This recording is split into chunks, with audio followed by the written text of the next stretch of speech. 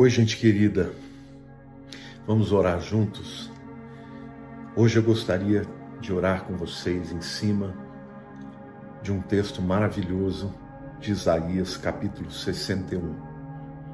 Este é um texto em que Jesus, quando ele esteve na sinagoga de Nazaré, ele disse: Hoje se cumpriu o que a Escritura disse.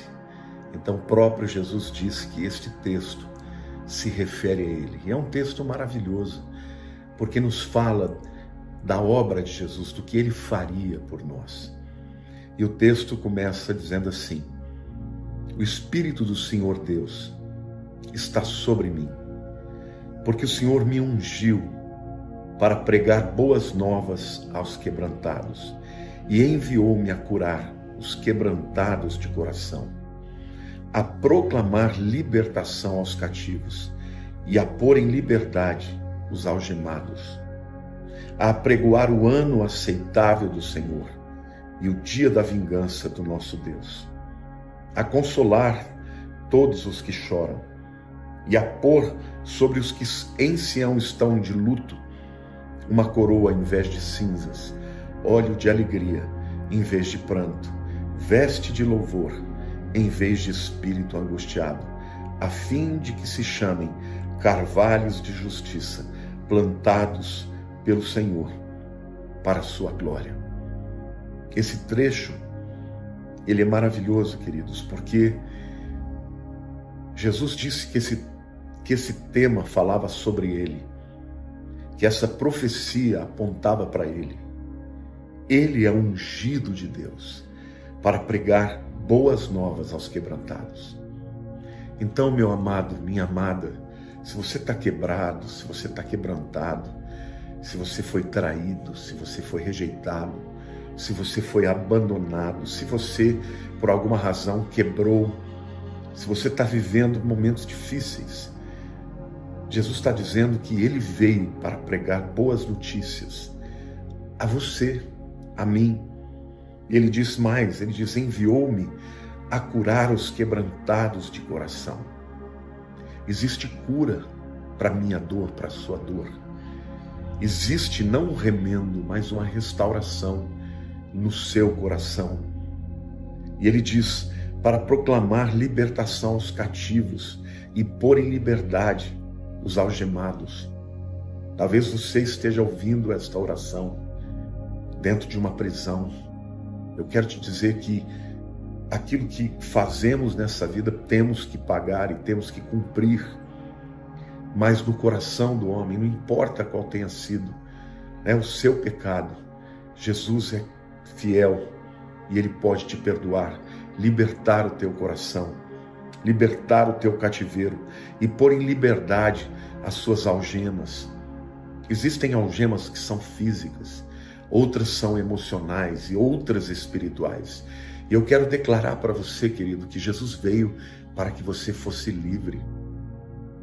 A Bíblia diz: Conhecereis a verdade, e a verdade vos libertará. Se, pois, o Filho vos libertar, verdadeiramente sereis livres.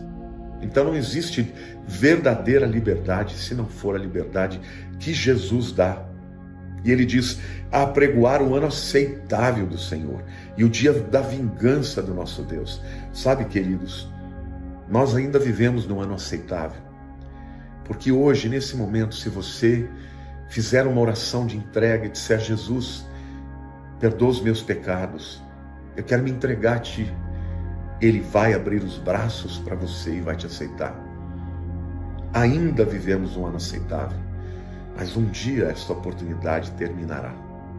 E essa oportunidade termina literalmente na vida de cada um de nós, quando nós morremos. É óbvio que ele está falando aqui de um dia futuro, quando vier o tempo do juízo. Mas na vida de cada um de nós, quando a vida passa, a oportunidade do ano aceitável termina. Então agora eu quero orar com você.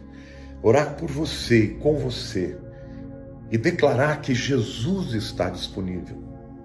Foi ele quem disse: Vinde a mim, todos vós que estáis abatidos e cansados, e eu vos aliviarei.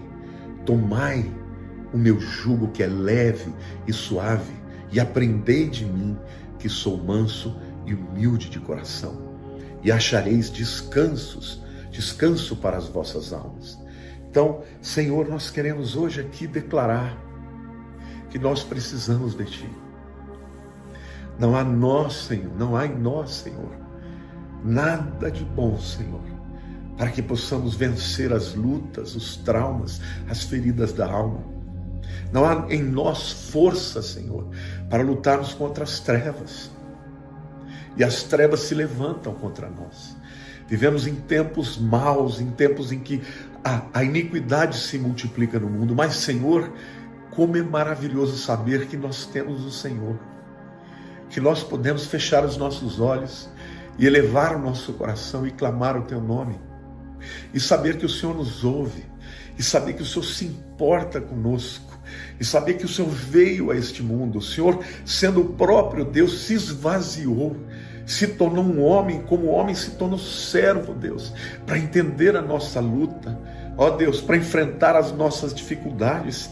Ó Deus, eu quero te adorar e te glorificar, Senhor, por este nome sobre todo nome que é o nome de Jesus, por este por esta obra extraordinária, por essa unção de libertador.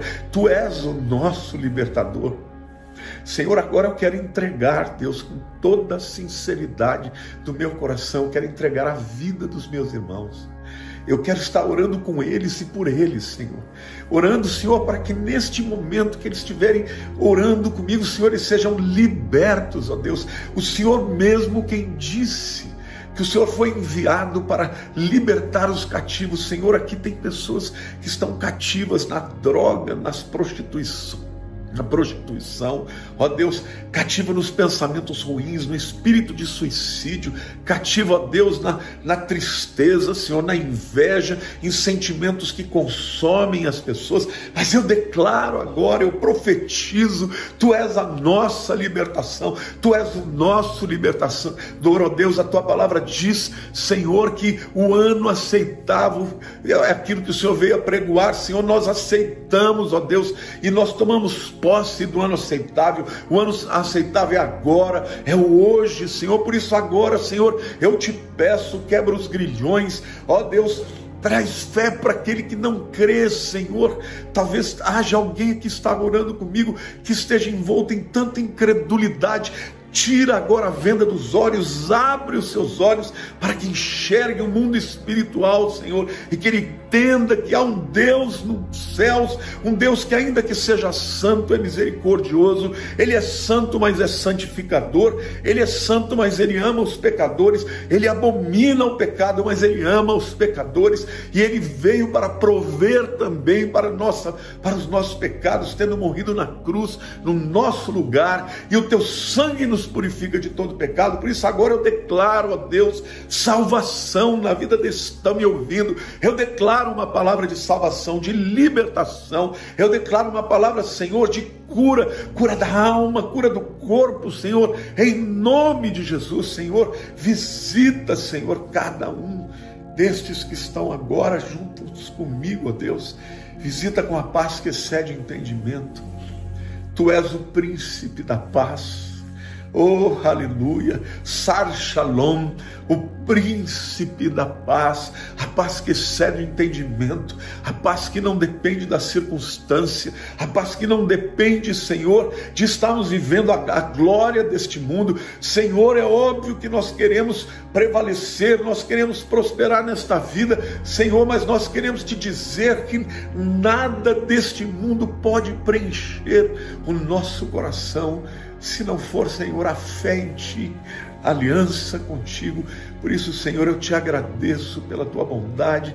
Senhor, se o inimigo, o acusador, está dizendo para esse meu irmãozinho, para essa minha irmãzinha, que ele não merece, que o Senhor não o ouve, porque ele tem pecado reiteradamente nos mesmos pecados, que o Senhor agora visite o seu coração e que ele entenda o que é misericórdia, que ele entenda o que é a tua graça, o que é o amor de Pai. Senhor Deus, nós te chamamos de Abba, Abba, Abba, Paizinho. Pai das luzes, Pai celeste, obrigado porque o Senhor enviou o seu melhor e o seu melhor foi o seu filho. Nós nos apropriamos dele, nós nos apropriamos das suas bênçãos, nós nos apropriamos da cura, Senhor, da cura física, da cura emocional, da cura espiritual, nós nos apropriamos da libertação, nós nos apropriamos, ó Deus, do convite que nos convida para fazer parte do seu reino. Por isso, agora, em nome de Jesus, eu declaro libertação para a vida dos meus irmãos. Por isso, agora, em nome de Jesus, eu declaro, Senhor, que eles serão transformados, que o Senhor vai transformar o seu destino, o seu presente, perdoando o passado, transformando no presente para todo aquele que invocar o teu nome e preparando um futuro de bênção e de glória. Oh Deus, eu oro e agradeço, Senhor, por poder estar aqui orando juntamente com meus irmãos, em nome de Jesus, querido. Nós vivemos em tempos difíceis. Cada vez mais a luta contra o reino das trevas tem se agigantado. Mas Deus é Senhor de todas as coisas. E nunca se esqueça de uma coisa: Jesus morreu por você. Ele te ama. Ele diz: Eu não vim para os sãos, porque os sãos não precisam de médico. Eu vim para os doentes, para os pecadores. Então, não fique com o sentimento de que você não merece. Não é por merecimento, é por amor. Ele te ama, ele se importa com você. E hoje, quando você está orando aqui comigo, ele já ouviu a tua oração. Amém? Que o Senhor te abençoe, que ele te guarde e que ele faça resplandecer sobre você o seu rosto e lhe dê a paz. Um beijo no teu coração.